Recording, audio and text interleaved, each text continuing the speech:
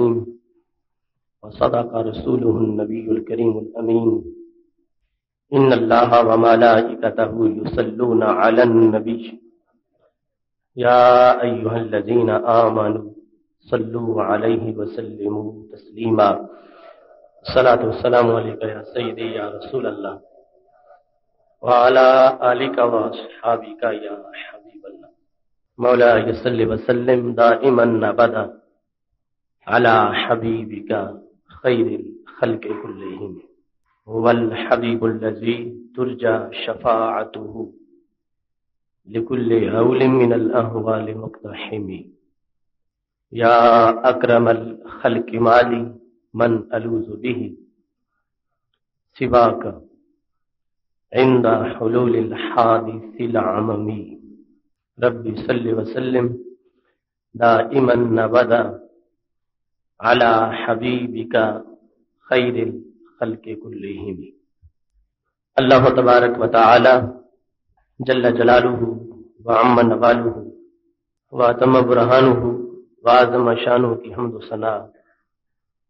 और हजूर सरवर कायनात, मफकर मौजूदात, जीनत बज़म कायनात, दस्तगीर जहाँ गम गुसार जमां सैद सरबराम कायदुलमरसलीन ख़ातमनबीन अहमद मुजतबा, जनाब मोहम्मद मुस्तफ़ा सल्लल्लाहु अलैहि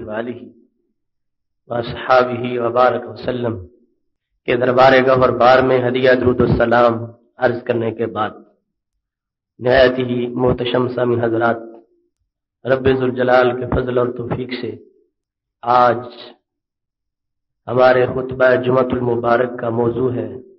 मसला इल्म गैब, किस्त नंबर छः। हमारा ये मौजू कई अकसात में चल रहा है। अभी इसकी मुतद किस्तें बाकी हैं। आज बिलखसूस इस मौजू के पेश नज़र बुखार के बावजूद मैं हाजिर हूँ। दुआ करें अल्लाह तबारक बताला बयान की तोफ़ी अता फरमाए। मुहतशम सामिन हजरात, रसूल अकरम, नूर मुजस्सम, शफी मुआजम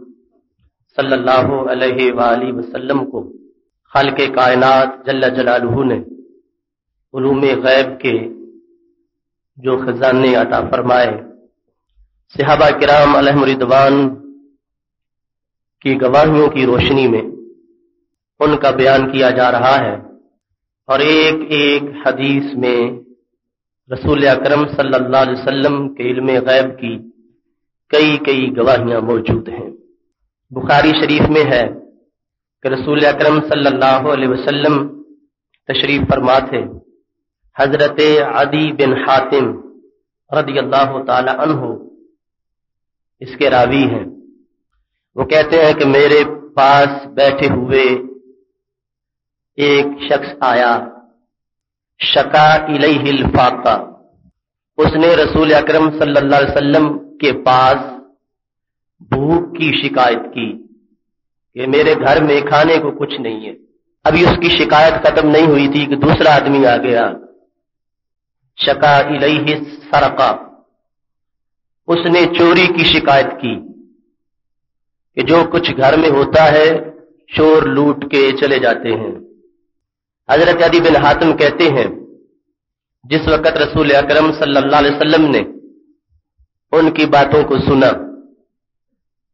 और ये वो वक्त था कि नबी अकरम सल्लल्लाहु की तालीमात का असर मुआशरे में मुसलसल बढ़ता जा रहा था। कुछ कबाइल अभी दरमियान में ऐसे मौजूद थे कि जिन्होंने अभी तक ईमान को कबूल नहीं किया था। उनकी वजह से कुछ इलाकों में बदमनी भी थी और चोरी वगैरह के वाकयात भी होते थे। तो रसूल अकरम सल्लल्लाहु अलैहि वसल्लम ने हज़रत आदि बिन हातिम को मुखातिब करके कहा, इन तालत बेका हया है अदी बिन हातिम, अगर तुम्हारी ज़िंदगी लंबी हुई तो तुम देखोगे रही तजईन का कि एक औरत ऊँट पे बैठेगी, मिनल हीराती, हत्ता ततूफुल काबा, ला तखाफु इल्लल्लाह। कि वो हीरा की सल्तनत से अकेली ऊँट पे बैठ के निकलेगी और चलते चलते मक्का शरीफ आएगी। हत्ता ततूफा बिल बैत तवाफ करेगी, हज करेगी, फिर वापस चली जाएगी। उसको अल्लाह के सिवा किसी का कोई खौफ नहीं होगा। इस इस हद तक मेरा दीन अपने असरात माशरे पे मुरतब करेगा। तमाम किस्म की बदमनी, बेचैनी खत्म हो जाएगी। वो जो माल या इज़्ज़त के डाकू है, वो खत्म हो जाएँगे। और तनहा औरत अगर इतना लंबा सफ़र तय करेगी तो उसको पूरा इतमान होगा कि ना तो मेरे माल को कोई लूटेगा और ना ही मेरी इज़्ज़त को कोई लूटेगा। दूसरे नंबर पर रसूल अक्रम सल्लल्लाहु ने इशाद फरमाया, इन तालत का हया, अगर तुम्हारी ज़िंदगी लंबी हुई, हज़रत अदी बिन हातिम को कहा, और ये हदीस शरीफ के सारे मकामात में बात तयशुदा है कि जिसको भी नबी सलाम ने इन लफ्जों के साथ खिताब किया कि अगर तुम्हारी ज़िंदगी लंबी हुई तो वो नफ्स अमर में लंबी ज़िंदगी के बाद ही फौत हुआ। यानी कोई भी ऐसा नहीं है कि जिसको रसूल अकरम वसल्लम ने फरमाया हो कि तेरी ज़िंदगी अगर लंबी हुई, तू ये देखेगा और वो दूसरे दिन फौत हो गया हो। आपने उसी को फरमाया, या जिसको आपने फरमाया, अल्लाह ने उसकी ज़िंदगी लंबी कर दी। पर अगर तुम्हारी ज़िंदगी लंबी हुई, लतुफ्तहुन्ना कनूज किसरा तो ये जो आज भूख की शिकायत कर रहे हैं कि हमारे घर में खाने को कुछ नहीं किसरा के खजाने खोल दिए जाएँगे? और मेरी उम्मत के इन भूखे अपराध के घरों में भी माल पहुँच जाएगा। और तीसरे नंबर पर अगर तुम्हारी ज़िंदगी लंबी हुई, तुम देखोगे युखरिजुल रजुलु मिल आकफी रहब व फिद्दा एक बंदा सोने का चुल्लू भर के और चांदी का चुल्लू भर के बहर निकलेगा। यक लुबू मई यकबालुहू। उसे तलाश है कोई ऐसा फकीर मिल जाए, जो ये सोना ले ले, या जो ये चांदी ले ले। लेकिन कोई शख्स उसको ऐसा नहीं मिलेगा जो उस सोने और चांदी को कबूल करे। जिसके पास जाएगा, वो कहेगा, अगर तू कल आता, फिर तो मैं ये ले लेता। आज मेरे पास इसकी गुंजाइश नहीं है।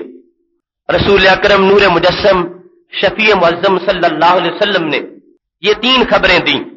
बुखारी शरीफ में मुतद मकाम पर इनका इजमाल और तफसील से ज़िक्र मौजूद है। हज़रत अदी बिन हातिम रदी अल्लाह तहो चूँकि रावी हैं, जो कुछ सुना था, उसके लिहाज से कहते रई तो जईन था मैंने उस ऊँट पे सवार होने वाली औरत को देखा, जो हीरा से चली और मक्का शरीफ में हज करके वापस लौटी। उसको अल्लाह के सिवा किसी का खौफ नहीं था। यानी दौरे फारूक आज़म रज़ी अल्लाह तहों में इतना अमन कायम हो चुका था इस हद तक इस्लाम के असरात मज़बूत हो चुके थे और इस हद तक इनकलाब आ चुका था। हज़रत अदी बिन हातम रदी अल्लाह तु का ये जवाबी तबसरा भी बुखारी शरीफ में मौजूद है। कहते हैं कि जो नबी सलाम ने खबर दी थी कि इतना अमन आ जाएगा, आज लोग चोरी की शिकायत कर रहे हैं तो ऐसा मेरे इस्लाम की रोशनी के अंदर जमाना आएगा कि मर्द तो मर्द रहे, खातून को भी किसी तरह किसी चोरी का कोई खतरा नहीं होगा। तो हज़रत अदी बिन हातिम कहते हैं, मैंने अपनी आँखों से वो जमाना देखा कि एक औरत दूर दराज हीरा की सल्तनत से चलती है और हिजाज में दाखिल होती है, खाना काबा का तवाफ करती है और फिर वापस पहुँचती है। आने जाने में उसे अल्लाह तबारक व ताला के सिवा किसी किस्म का कोई खौफ और खतरा नहीं था।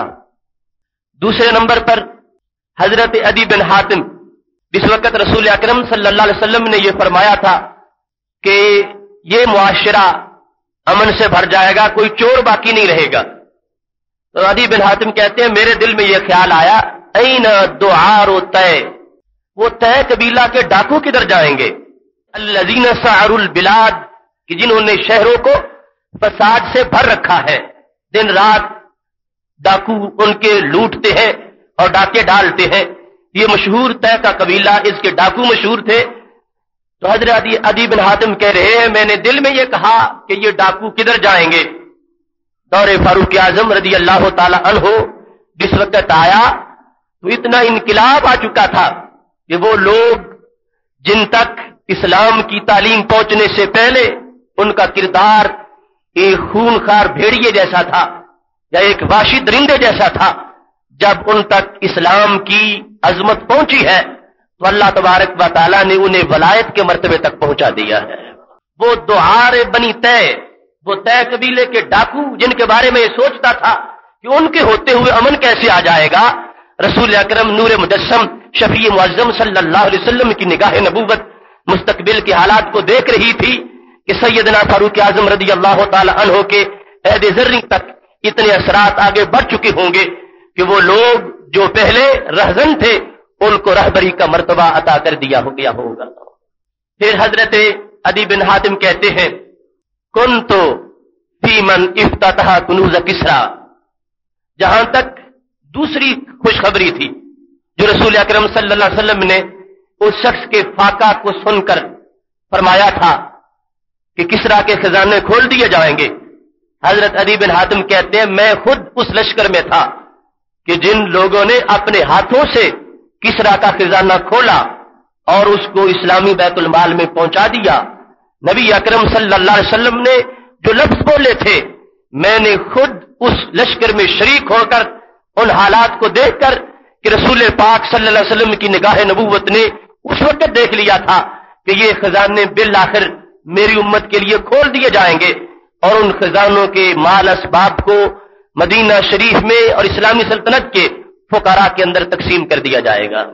बुखारी शरीफ का यह मकाम हज़रत अली बिन हातिम रदी अल्लाह तला हो जहाँ नबी अकरम नूर मुजस्म शफी मजम सल्लल्लाहु अलैहि वसल्लम के अखबार गैब को बयान कर रहे हैं।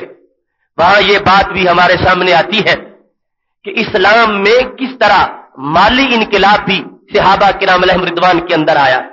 एक वक्त वो था कि जब रसूल अकरम नूर मुजस्म शफी अलैहि वसल्लम जंग तबूक की तरफ़ जा रहे थे, सही मुस्लिम में है और फुर्दोनोश का सामान कम हो गया। तो कुछ सिहाबा ने यह तजवीज पेश की थी कि ऊंटनियों को जबा करके इनका गोश्त खा लेना चाहिए, ऊंटनियों को जबा करके गुजारा करना चाहिए। मुस्लिम की किताबुल ईमान में हदीस शरीफ मौजूद है हज़रत फारूक आज़म रदी अल्लाह तहो अपनी तजवीज लेके आ गए। कहने लगे, या रसूल अल्लाह सल्लल्लाहु अलैहि वसल्लम जमाता मा बाकिया मिन अजवादिल कौमी दाऊता अलैहा। मेरी तजवीज ये है कि जिस किसी के पास भी जो कुछ बचा हुआ खाना है, वो सब कुछ आपके सामने लाके रखे। आप उस पर दुआ कर दे तो अल्लाह इतनी बरकत देगा कि ऊंटनियों को जबा करने की ज़रूरत नहीं पेश आएगी। हज़रत उमर रदी अल्लाह तला की इस तजवीज को नबी सलाम ने कबूल फरमा लिया। हुक्म दिया गया कि जिसके पास जो कुछ है, वो लेकर दरबार नबूवत में हाजिर हो जाए। तो हदीस में आता है, कोई एक टुकड़ा रोटी का ले आया, किसी के पास निस्फ खजूर थी, वो ले आया। और कुछ लोग खजूरों की गुठलियाँ लेके वहाँ हाजिर हो गए। खजूरों की गुठलियाँ, निसफ खजूर और रोटी के टुकड़े, रसूल अकरम सल्लल्लाहु अलैहि के सामने उस लश्कर वालों के पास जो कुछ था, इस हालत में जमा कर दिया गया। मेरे नबी सलाम ने उस पर दुआ की। हज़रत उमर रदी अल्लाह तु कहते हैं, तमाम लोगों ने अपनी बोरियाँ भर ली और इतनी बरकत थी कि उस सफ़र का सारे का सारा खर्चा उसी से पूरा हो गया। इसमें एक तो ताम पर जो दुआ मांगने का सबूत है कि रसूल अक्रम नूर मुजस्म शफी मुजम सल्लाम खुद खाने के ऊपर दुआ मांगी है। और ये हमारी दुआ में और उनकी दुआ में फ़र्क है कि रसूल अक्रम वसल्लम दुआ मांगते हैं, सिर्फ़ मानवी बरकतें ही नहीं, खाने में हिस्सी बरकतें भी आ जाती हैं। और उनके तरीके के मुताबिक जिस वक्त कुरान मजीद की आयात खाने पे पड़ी जाती है तो खाल के कायलात जल्ला जलाल उसमें मानवी बरकतें भी पैदा फरमा देता है। अब इस मकाम पर हमारे मौजू की बात यह है कि जो गुठलियाँ सिहाबा लेके आए, रावी ने पूछा कि गुठलियों का फ़ायदा क्या था? हुक्म तो यह हुआ कि जिसके पास खुराक जो कुछ है, वो लेके आ जाओ। और गुठलियाँ तो कोई खुराक नहीं। खजूर खा के गुठली फेंक दी जाती है। तो सिहाबा कहते हैं, गुठलियाँ भी हमारे यहाँ खुराक का दर्जा रखती थी। क्यों? हम खजूर खा के गुठली संभालते थे कि जब खजूर नहीं होगी, ये गुठली मुँह में डाल के ऊपर से पानी पिएँगे तो पानी मीठा हो जाएगा और उसकी गजाइत हमें हासिल हो जाएगी। यानी वो दौर इस्लाम का, कि जब गुठलियाँ मुँह में डाल के ऊपर से पानी पीकर कुछ वक्त के लिए पानी को मुँह में रख के, कि गुठलियों से कुछ ना कुछ पानी से लग जाए और फिर गुठलियों को बाहर निकाल के फिर भी फेंका ना जाए, फिर भी संभाल के रख लिया जाए, वो फाके का दौर और वो भूख का दौर, उन लोगों ने अपने खतूत को तब्दील नहीं किया कि हम किसी और ज़रिए से माल हासिल कर लें। रसूल अक्रम नूर मुजस्म शफी मुजम सल्लाम ने जमानत दी कि जो मैं तुम्हें खतूत दे रहा हूँ, इन्हीं पे ज़िंदगी बसर करते रहो, एक दिन दुनिया के खजाने तुम्हारे कदमों में पहुँच जाएँगे। तो ये जमाना इस कदर फाके का था। रसूल अक्रम सल्लाम ने सहाबा कराम रिदवान को पाबंद किया कि कोई दूसरा ज़रिया अपना के अगर दौलत हासिल करोगे, फिर वो महज दुनिया होगी। और अगर मेरे तरीके पर कैम रहकर तुम्हें अगर दौलत मिलेगी तो वो दौलत भी दीन का हिस्सा बन जाएगी। यहाँ तक के सिहा में हदीस मौजूद है, जब ये हुक्म नाजिल हुआ था कि सदका करो सिहाबा में से बाज ऐसे भी थे, जिन्होंने जाकर बाज़ार में मजदूरी की, और दो शेर, तीन शेर के मुताबिक उनको खजूरें मिली तो वो अल्लाह के रास्ते में आके सदका की, कि हमें शौक है कि हमें सदके की इबादत का भी स्वाद मिलना चाहिए। वो सिहाबी कहते हैं, एक दिन तो मैंने मजदूरी करके सदका किया था और आज मेरे पास एक लाख दिरम मौजूद है। उस, उसी खत पे रहते हुए जो रसूल अकरम सल्लल्लाहु अलैहि ने मुझे सबक दिया था कि एक दिन मजदूरी करके सदका कर रहा था और मैंने कस्ब हलाल की तरफ़ तवज्जो की है और मैं शरीयत के दायरे में रहा हूँ। आज अल्लाह तबारक व ने मुझे ये शान अता फरमाई है कि मेरे पास एक लाख दिरम मौजूद है, जिससे मैं हर तरफ़ सदका भी कर रहा हूँ और अपने कारोबार को भी चला रहा हूँ। अब देखिए, जब फाका का इस तरह का सवाल था नबी सलाम के सामने तो मेरे महबूब सलाम ने फरमा दिया तो तहुन्ना तनूज किसरा किसरा के खजाने खोल दिए जाएँगे और उनसे मेरी उम्मत के नादारों तक भी हिस्सा पहुँच जाएगा। हज़रत अदी बिन हातिम रज़ी अल्लाह तु कहते हैं, मैं खुद इस बात पे गवाह हूँ कि वो खजाने खोल दिए गए और मैं उस लश्कर में शरीक था जिन्होंने उस इलाके को फतह किया और उसको हमेशा के लिए इस्लाम का गहवारा और मरकज बना दिया। तीसरी बात के बारे में, हज़रत अदी बिन हातिम रज़ी अल्लाह तु ने मुखातबीन को खिताब करते हुए ये फरमाया, ला मुन्ना तुम वो वक्त ज़रूर देखोगे जब इस तरह की पैसे की रेल पेल हो जाएगी कि एक आदमी अपनी, अब तरफ़ से सोना और चांदी लेके निकलेगा, मगर उसको कोई कबूल करने वाला नहीं मिलेगा। और उसको ये कहा जाएगा, अगर तुम कल आते तो फिर मैं इसको कबूल कर लेता। इस हद तक अल्लाह तबारक वाली दुनिया में पैसे की और माल की फरामानी अता फरमा देगा। हज़रत अदीब हातिम कहते हैं कि जो रसूल अक्रम सल्लल्लाहु ने अखबार दी थी, उनमें से दो मैंने अपनी आँखों में देखी है और तीसरी के बारे में भी मेरा ये यकीन है कि क्या मुझसे पहले खाल के कायनात जल्ला जलालहू ये मंजर भी दुनिया में ज़रूर बर्पा कर देगा।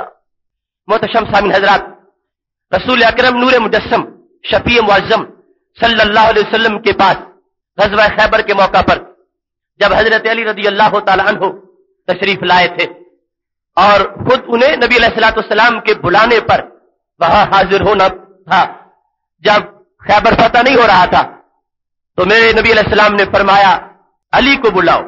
तो कहा, यशतकी आई नहीं है, उनकी तो आँखें खराब हैं। रसूल अकरम वसल्लम ने फरमाया, उनको बुलाओ तो सही। हज़रत अली रदी अल्लाह तहो को बुलाया गया फबासा का रसूल वसल्लम फ़ी आई नहीं है नबी सलाम ने उनकी आँखों में खुद अपना लुआब दहन लगाया और कहते हैं कि मेरी आँखें यूँ सही हो गई जैसे कभी बीमार हुई नहीं थी।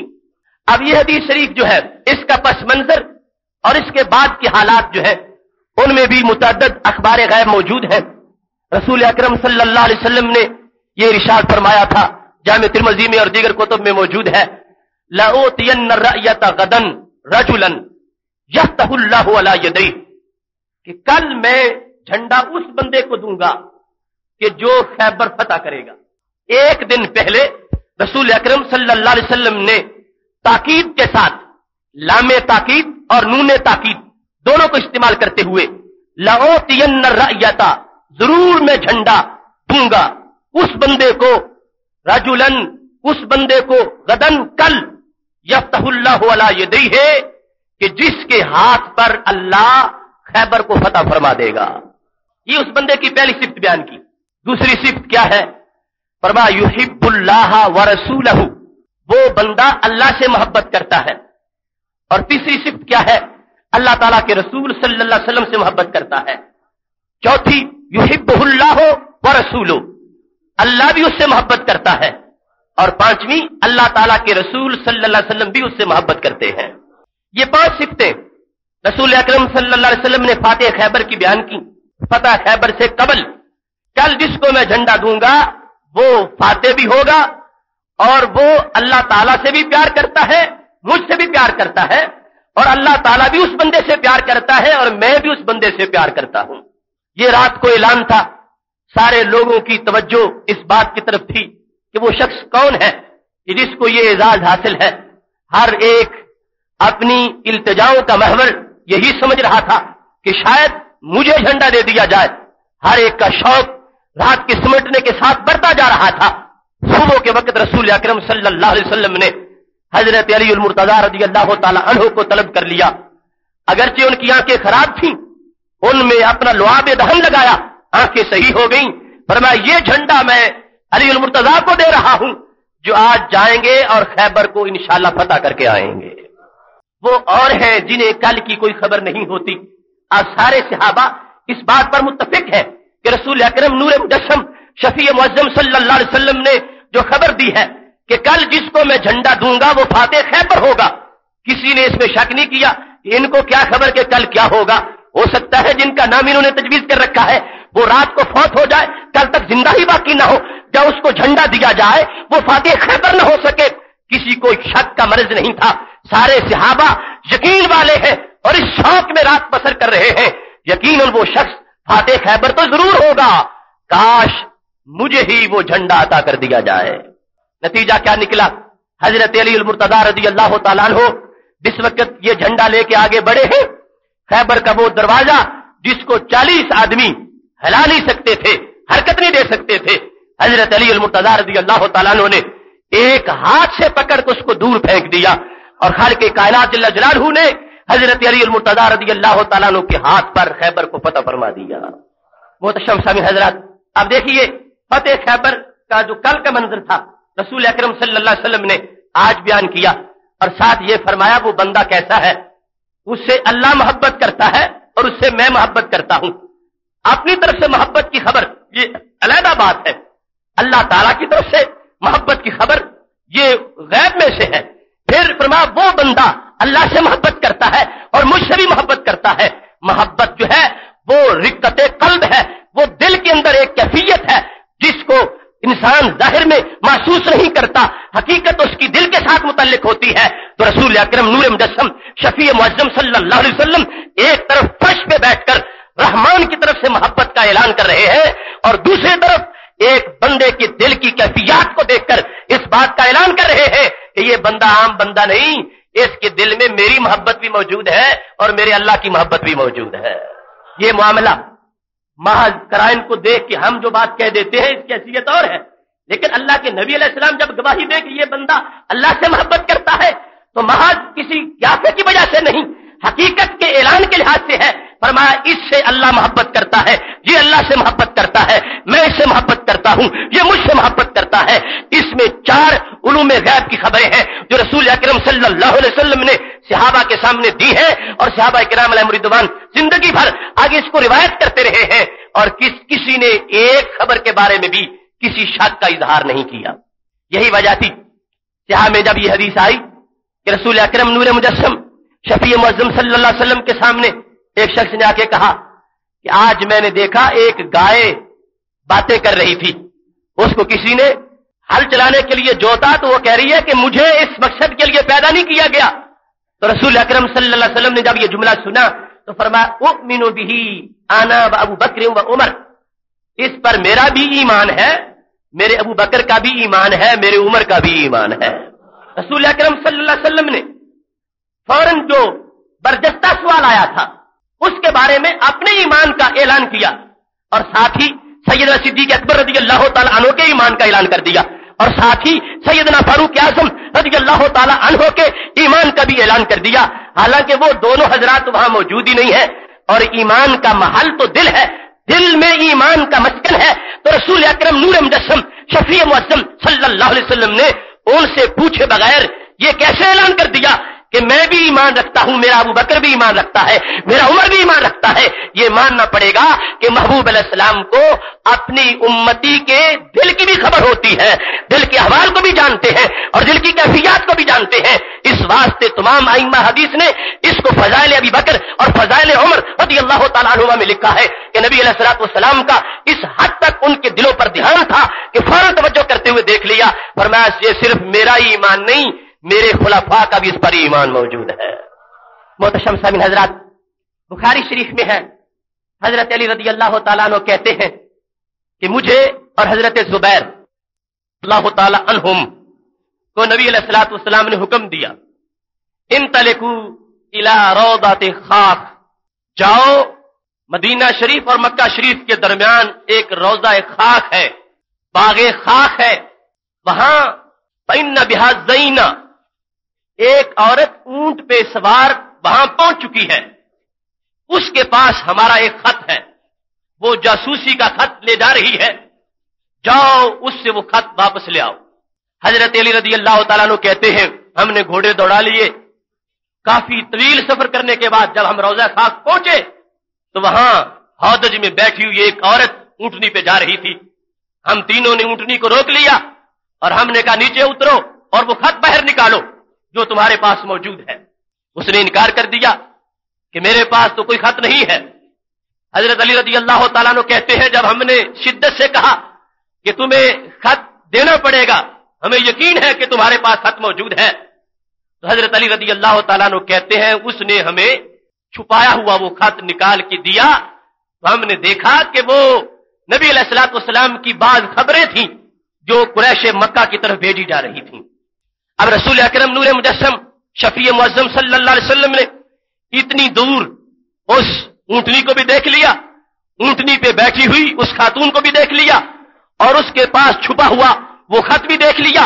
इन सिहाबा किराम रिदवान को जब हुक्म दिया है तो ये किस यकीन से जा रहे थे? अगर इनका यह अकीदा होता कि हमारे नबी को तो दीवार के पीछे की भी खबर नहीं होती, इतनी दूर लंबा सफ़र क्यों करते? वही फ़ौरन इनकार कर देते कि ये बात तो उमूर गैबिया में से है और आपको गैब की खबर नहीं हो सकती। लिहाजा हमारे जाने को कोई फ़ायदा नहीं है।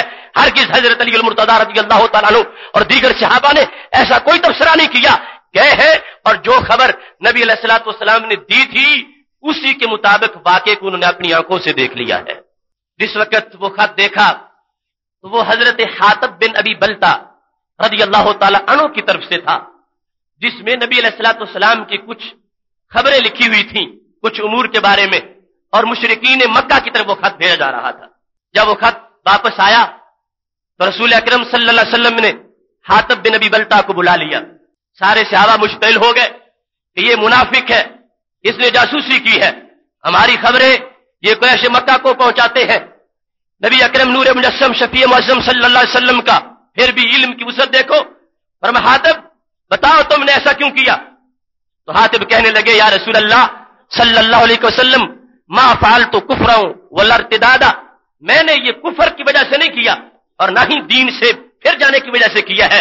सिर्फ़ बात यह है कि मैं मुहाजिर हूँ और दीगर मुहाजरीन में और मुझमें फ़र्क यह है कि बाकी सब मुहाजरीन की बिरादरी वहाँ मक्का शरीफ में मौजूद है और मैं मक्का शरीफ का रहने वाला नहीं था। मैं बाहर से वहाँ आबाद हुआ था और मैंने कलमा पढ़ा और हिजरत करके आ गया। अब पीछे वहाँ इन लोगों की बिरादरियाँ हैं, जिनकी वजह से इनके मफादात का वहाँ तहफुज है और मेरी कोई बिरादरी नहीं है। तो मैं चाहता था कि कुछ लोगों से मैं अपने बारे में कोई मदद हासिल करूँ। मैं इस सिलसिले के अंदर मैंने ये खत लिख दिया था, मेरी किसी तरह भी दीन से कोई मुनाफ्त नहीं है। ना मैं कुफर की तरफ़ जाना चाहता हूँ और ना ही मैंने इर्तदाद इख्तियार किया है।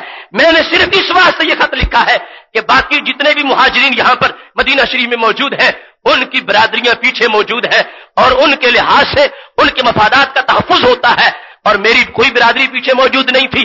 तो मैंने इस वास्ते चंद लोगों को यह खत लिखा ताकि वो मेरे बारे में कुछ नरम रवैया रखे और मेरे जो मफादात है, उनके लिहाज से हिफाजत का मुझे जिम्मा और एहसास दिला दे। जब उन्होंने ये जवाब दिया, सिहाबा बरहम है। हज़रत उमर रदी अल्लाह तला कहते हैं, दानी अदरिब उन्होंने कहा, हाजिल मुनाफक दानी या रसूल अल्लाह सल्लल्लाहु अलैहि वसल्लम, मुझे छोड़ो। अदरिबो उन्होंने कहा हाजल मुनाफिक। मैं इस मुनाफिक का सर उतार दूँ। इसने ऐसा क्यों किया? तो रसूल अकरम वसल्लम ने फरमाया, सादा का हातिबनो अभी बलता। उमर, आप ये बात ना कहो। हातिब ने जो जवाब दिया है, सच दिया है। इसने कुफर या इर्तदाद की वजह से ये खत नहीं लिखा था।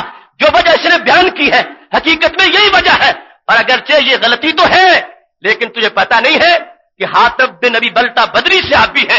और जो बदर में गए थे, अल्लाह ने उनको झाँक के देखा था और फरमाया था, ए मलू माशे तुम तद गफर जो कुछ मर्ज़ी है करते रहो, मैंने तुम्हारे गुनाहों को माफ़ कर दिया है। तो हज़रत हातब बिन अभी बलता को छोड़ दिया गया कि ये अगरचे गलती है, लेकिन ये मलूम अशे तुम का वादा इन्हीं के बारे में आ गया है। कि तुम करो जब तक तुम कुफर तक नहीं पहुंचोगे, या इर्तदाद तक नहीं पहुंचोगे, या मुनाफ्त तक नहीं जाओगे, तुम्हारे मामलात को मैं मुआफ कर दूँगा। पर मैं मैदान बदर में जाके खड़ा हो जाना, ये कोई मामूली सा काम तो नहीं था। उस वक्त काफिरों से लड़ना, ये कोई मामूली सा मनसब तो नहीं था। उमर ये हाथ बिन अभी बलता भी तो बदरी से आप भी है। इनको भी अल्लाह ताला ने झाँक झाँक के देखा है। ये बात मुतशाबिहात में से है। हल के कायनात तो हर तरफ़ बकत देखता है, उसे कहीं झांकने की ज़रूरत नहीं है। लेकिन ये हदीस के अल्फाज है मुरादिया नहायत तवज्जो से देखा है और नहायत नज़र रहमत से देखा है। फरमाया खाल के कायनात जल्ला जलालहू, जिनसे मुआफी का वादा कर चुका है, ऐ उमर, मैं उन बंदों को सजा नहीं देने दूँगा। अब यहाँ पर सारे सिहाबा कराम रिदवान, जिस अकीदे पे गवाही दे रहे हैं, वो भी रसूल अक्रम नूर मुजस्म शफी मुजम सल्लाम का उलूम गैब का अकीदा है। और फिर महबूब सलाम ने जो जवाब सुना, उस जवाब में जो आप हकीकत तक पहुँचे, जबकि दीगर कराइन के लिहाज से लोग सजा का मुतालबा कर रहे थे, मेरे महबूब सलाम ने अपनी ज़ुबान से कह दिया सादा का इन्होंने सच बोला है। और इस सच की बुनियाद पर हज़रत हातब को मुनाफ्त की तरफ़ मंसूब नहीं किया गया, बल्कि उनको अजीम सिहाबी बदरी सिहाबी के लकब से हमेशा याद किया जाता रहा। अल वफा में यह हदीस शरीफ मौजूद है। कि जिस वक्त जंग बदर के बाद उमैर नामी शख्स और सफवान बिन उमैया का आपस में मुआदा हुआ। उमैर का बेटा वहब कैदियों में था, जो कि बदर में कैदी बन गए और मुसलमानों के पास मौजूद थे। दोनों हतीमे काबा में बैठे हुए ये बात कर रहे थे कि अब बदर की लड़ाई के बाद हमारे ज़िंदा रहने का कोई फ़ायदा ही नहीं है कि जो हमारे कायदीन थे वो सारे के सारे बदर में मारे गए और बार बार उन्होंने बदर की उस कुएँ का तस्करा किया, जहाँ अबू जाल को गिराया गया था, उतबा शैबा को गिराया गया था। ये दोनों उमैर और सफवान बिन उमैया हतीमे काबा में बैठकर बार बार बदर की उस कुएँ का ज़िक्र करके रोते हैं, चीखते हैं, चिल्लाते हैं कि हम सब कुछ वहाँ लुटा के वापस आ गए। हमें क्या फ़ायदा हुआ? बदर ने हमारी सारी साथ खत्म कर दी है और जितने हमारे सिरदार थे, सारे बदर ने हड़प कर लिए हैं। अब इसका बदला एक ही हो सकता है हम किसी न किसी तरह मुसलमानों के नबी, हज़रत मोहम्मद मुस्तफ़ा सल्लल्लाहु अलैहि वसल्लम को माजल्ला शहीद करें तो फिर ये बदर के कुएँ वाला मामला जो है वो पूरा हो सकता है। वरना हम तो इस ज़िंदगी में जीने के काबिल नहीं है कि सब कुछ हम अपना वहाँ छोड़ के आ गए, और उसके बाद हम ताकत ही नहीं है कि हम अपना बदला इन लोगों से ले सकें। ये दोनों अपने बात, बातें कर रहे थे। तो उमैर ने ये कहा, मैं ज़रूर जाता और मेरे जाने का जवाब भी बनता है कि मेरा बेटा वहाँ पर कैदी है। मैं उसको छुड़ाने के बहाने चला जाता और मैं ये मिशन पूरा करके आ जाता। लेकिन अलैया दैन मुझ पर बड़ा कर्ज है। वली अयाल और मेरे काफ़ी बाल बच्चे हैं। अगर मैं उधर मारा गया तो मेरा कर्ज कौन उतारेगा और मेरे बीवी बच्चे का खर्चा कौन पूरा करेगा? सफवान बिन उमैया ने पेशकश कर दी, कि तुम चले जाओ मैं तुम्हारे कुंबे को, अपने कुंबे के हमरा रखूँगा। जो शाम को मेरे बेटे खाएँगे वही तुम्हारे खाएँगे। जैसा लिबास मेरे बच्चों का होगा, ऐसा ही तुम्हारे बच्चों का होगा। और जितना तुम्हारा कर्ज है, वो मैं अदा कर दूँगा। तुम जाओ और किसी न किसी तरह ये काम पूरा करके आओ, क्योंकि जब तक ये हदफ हमें हासिल नहीं होता, हम किसी तरह भी दुनिया में सर उठाने के काबिल नहीं है। ये दोनों बिल्कुल तनहा है। कोई तीसरा आदमी साथ नहीं है। दोनों ने ये बात पक्की कर ली। और उमेर जो है, उन्होंने तलवार, जहर, आलूद कर ली, ताकि किसी न किसी तरह अगर मामूली सा हमला भी हो जाए तो जख्म की वजह से नहीं तो जहर की वजह से ही मेरा हदफ मुकम्मल हो जाए। ऊंटनी पे बैठता है, तलवार गले में लटकाता है, और मदीना शरीफ की तरफ़ सफ़र करने जा रहा है। ये सफ़र, ज़ाहिर एक कातिल का सफ़र है, जो एक बहुत बड़े मनसूबे के तहत चल रहा है, और इसके बड़े गंदे असाइम है, और बड़े खतरनाक ख्याल हैं। मगर रब काबा को मंजूर क्या था, ये जिनको कत्ल करने के लिए निकला है, उनकी मोहब्बत ने बिल आखिर इसको अपनी उल्फत का असीर बना लिया है। जिस वक्त ये मदीना शरीफ में पहुँचा, सुबह की नमाज़ का वक्त था। इसने ऊंटनी जाकर मस्जिद नबी शरीफ के सामने बिठाई। हज़रत उमर रदी अल्लाह तला ने सबसे पहले इसको देखा। कहने लगे, हाजा अदुल्लाह उमेर। लोगों, ये खुदा का दुश्मन उमेर आ गया है। ये शर से आया है, खैर से नहीं आया। हज़रत उमर रदी अल्लाह तला ने उसको, वो गर्दन में जो उसने रस्सी डाली हुई थी तलवार के साथ, उस रस्सी से पकड़ के खींच लिया और खींच के उसको रसूल पाक वसल्लम के सामने ले आया। हज़रत उमर रज़ी अल्लाह तला सामने पेश कर दिया कि ये वो पुराना शरारती, बदर में भी इसकी शरारतें शामिल थी और कितनी इसने अजियतें दी हैं और आज हमारे पास ये पहुँचा है, तलवार लटकाए हुए आ गया है, ये खैर के इरादे से नहीं आया, शर के इरादे से आया है। रसूल अक्रम वसल्लम ने जब ये देखा कि हज़रत उमर रदी अल्लाह तला उसको रस्सी से पकड़ के खींच रहे हैं उमर, अब इसको रस्सी से ना पकड़ो, इसको छोड़ दो, इसको मेरे सामने बिठाओ, मैं इससे बात करता हूँ। उमेर को नबी सलाम ने अपने सामने बिठा लिया। पर मैं उमेर, बताओ क्यों आए हो? तो कहने लगे, मेरा बेटा आपके पास कैदी है। फीफक की असीरन, मैं उसको छुड़ाने आया हूँ। तो मैं जो कुछ मांगते हो, देता हूँ, मेरे बेटे को छोड़ दो। तो नबी सलाम ने फरमाया, माँ बाल थे फ़ी के का। अगर बेटा छुड़ाने आए थे तो ये गर्दन में तलवार क्यों डाल रखी है? तो उसने जवाब दिया, कब बहा मिन सैफिन? हल अगनत सैया। अल्लाह बुरा करे इन तलवारों का। क्या तो इन्होंने कभी मसला हल भी किया है? ये तलवारें खायबो खासर हो जाए। यानी उसने तलवारों को बदवाएँ देना शुरू कर दी। और ये ज़ाहिर कर रहा था कि मैं मजबूरन ये पहन के आ गया हूँ। अब मुझे तलवारें चलाने का शौक नहीं रहा। इससे पहले हमारा बड़ा नुकसान हो गया है। नबी अकरम नूर मुजस्म शफी मुआजम सल्लल्लाहु ने फरमाया, उमैर, तुम सच नहीं बोल रहे। उमैर बार बार कहते नहीं, मैं तो इसलिए आया हूँ, मेरा बेटा यहाँ पर कैदी है, उसको छुड़ाने आया हूँ, और तलवार वैसे मेरे गले में डाल के आ गया हूँ। रसूल अकरम नूर मुजस्म शफी मुजम सल्लल्लाहु अलैहि ने फरमाया, सुनो, अगर तुम नहीं बताते तो मैं बताता हूँ कि तुम मदीना शरीफ क्या करने आए हो। उमैर कहते हैं कि नबी सलाम ने मुझे यह फरमाया, बल का अंता व सफवान फिल हतीम। तुम और सफवान दोनों काबा शरीफ के पास बैठे हुए थे और काबा शरीफ के पास बैठ के जकर तुम असहाबल कलीब तुमने बदर के कुएँ वाले उन काफिरों का तस्करा किया, जिनको बदर के दिन कत्ल किया गया था और फिर उनकी लाशें उठा के उस कुएँ में फेंक दी गई थी। तुमने उनका ज़िक्र किया, उनमें से हर एक का नाम लिया और फिर तुमने ये कहा कि हम सब कुछ लूट, लुटा के वहाँ बदर में वापस आए हैं। और यह मकसद पूरा तब होता है कि हज़रत मोहम्मद वसल्लम को शहीद किया जाए। ए उमेर, तुमने और सफान ने मेरी शहादत का मनसूबा बनाया था। हतीम में बैठकर तुम ये बातें कर रहे थे और तुमने ये बात भी कही थी कि मुझ पर बड़ा कर्ज है और मेरे बच्चों का खर्चा कौन उठाएगा? ए उमेर, तुमने सफ़र तब शुरू किया था जब सफवान ने तुम्हारी सारी शर्तों को मंजूर कर लिया था। उमैर कहने लगे कि जब मैंने ये सफवान से बातें की थी, कोई तीसरा आदमी वहाँ मौजूद नहीं था। यानी कुफारे मक्का में से, कुरैश में से भी कोई वहाँ मौजूद नहीं था। सिर्फ़ हम दो का ये मुआदा था। और हम दो की ये बात थी। तो कहने लगे, जब इन्हें यहाँ बैठे हुए हमारी मक्का शरीफ की गुफ्तगु का पता है और हर हर जुजी को जानते हैं कहने लगे, अशहद अन्न का रसूलुल्लाह। सल्लल्लाहु अलैहि मैं गवाही देता हूँ कि तुम अल्लाह ताला के सच्चे रसूल हो। हज़रत उमर रदी अल्लाह तला पास बैठे हैं। उमैर जिस वक्त नबी अकरम, नूर मुजस्म शफी मुआजम सल्लल्लाहु अलैहि वसल्लम के इल्म गैब की रोशनी में उनका यकीन उस्तवार हो गया कि जो यहाँ बैठे हुए मक्का शरीफ के हमारे हालात जानते हैं और सच बताते हैं इन पर अल्लाह का इतना फजल है, ये जहाँ बैठे हुए अगर वहाँ की खबरें सच्ची देते हैं तो फिर ज़मीन पे बैठे हुए आसमां की खबरें भी सच्ची देते हैं। लिहाजा वो उमेर जो खून का प्यासा था, जिसने अपनी तलवार को जहर में बुझाया हुआ था, रसूल अक्रम, नूर मुजस्म शफी अलैहि वसल्लम को शहीद करने की नीयत से निकला था, इस बुनियाद पर उसने कलमा पड़ा वो जो कट्टर मुशरक था और बाकी जो मुशरकिन रह गए थे, उनमें एक सिरदार की हैसियत से था।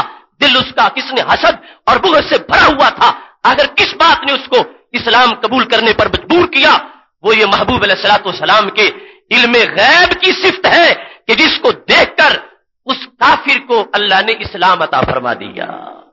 कितने इन अकसात के अंदर ऐसे वाकयात हदीस से आ चुके हैं कि रसूल अक्रम नूर मुजस्म शफी मुजम सल्लल्लाहु का ये मौजा ये आपकी शान।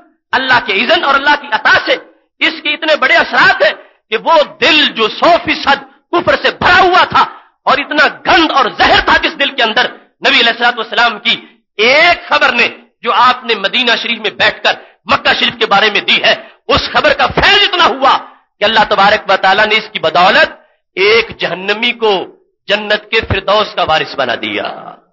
हज़रत उमैर रदी अल्लाह तहो सफवान से वादे कुछ और करके आए थे। और यहाँ नबी सलाम के पास हमेशा के लिए आपके होकर रह गए। और कल मैं शहादत पढ़ते हुए क्या तक के लोगों को यह अकीदा दिया कि हमारे नबी सलाम अल्लाह की इजन और अता से ये नहीं कि सिर्फ़ एक दीवार के पीछे की खबर दे। इतनी दूर तक देख लेते हैं और इतनी दूर तक आपकी रसाई है कि जो बातें तन्हाई में की जाए, इनसे वो भी पोशीदा नहीं होती, क्योंकि जहाँ ये बातें की जा रही थी, अब देखो जमाना कैसे बदलता है। वो कावा नबी सलाम का, मक्का शरीफ महबूब सलाम का मौलद और हतीम में मशवरे आपके खिलाफ हो रहे हैं। वो कावा की दीवारें भी सुन रही थी कि ये कैसे मंसूबे बनाए जा रहे हैं, जिस पैगंबर ने अभी इस काबे से आके बुत निकालने हैं और फतेह मक्का का मंजर आना है और इससे पहले ही उनको मिटाने की साजिश की जा रही है। मेरे नबी सलाम मनसूबे से आगा हो गए और यूँ आगा हुए कि सिर्फ़ यही नहीं कि वो मनसूबा नाकाम हुआ। ये हुआ कि जो मनसूबा बनाने वाले जेन थे, उन जेनों के अंदर आपने अपनी मोहब्बत को दाखिल फरमा दिया। ये कमाल है इस्लाम का। लोग गलतफहमी में है कि इस्लाम ने तलवारों से मार मार के लोगों को अपना कायल किया। इस्लाम ने मुतवजह कर दिया।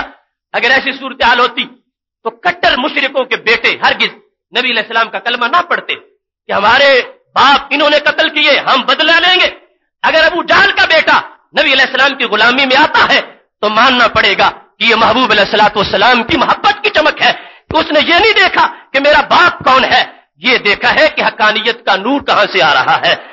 वो उतबा बिन शैबा के जो उस मकाम पर उतबा बिन रबिया जो कि बदर में मर गया था, उसका बेटा अबू हाशिम, सहाबा कहते हैं, वो हम रजुल साले है। इतना नेक बंदा है और नबी सलाम के साथ इतना उसका मिजाज मिला हुआ है कि जब और किसी को मसला पूछने की जसारत नहीं होती, उतबा का बेटा उस वक्त भी मसला जाके पूछ लेता है। बाप उसका बदर के कुएँ में पड़ा था, लेकिन अल्लाह तबारक वाली ने बेटे को नबी सलाम की सोबत का शरफता फरमा दिया।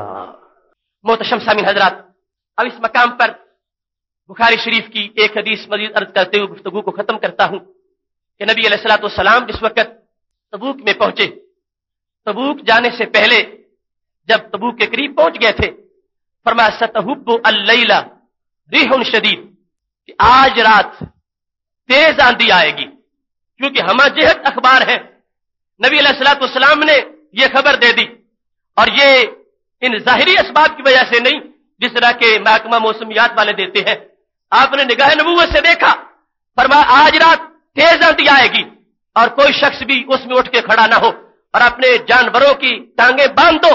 शाहबा कहते हैं कि जिस वक्त रात आई, इतनी तेज आंधी थी कि एक शख्स गलती से जब उठा तो उसको जबले तय पर आंधी ने उठा के गिरा दिया। और नबी सलाम की बताई वो खबर कि जिसमें आपने वाजे फरमाया था कि आज रात आंधी आएगी, हम तबूक वालों ने यह खबर भी अपनी आँखों के सामने सच्ची साबित देखी कि महबूब सलाम का किसी बड़े वाक्य के बारे में खबर देना, या उमूर गैब के बारे में खबर देना, वो तो बड़े बड़े ही अजीम मरतबे की बात है। ये मामूली मामूली अखबार जो है, इनके लिहाज से भी महबूब सलाम की ज़ुबान से जो लफ्ज निकल जाता है, अल्लाह तबारक वाली उसको भी पूरा फरमा देता है। मेरी दुआ है खाल के कायनात जल्ला जलालू हम सबको कुरान सुन्नत का फामता फरमाए और कुरान सुन्नत के बिलाग तबलीग की तोफीक अता फरमाए। वाखिर दावा, यानी अलहमदिल्ला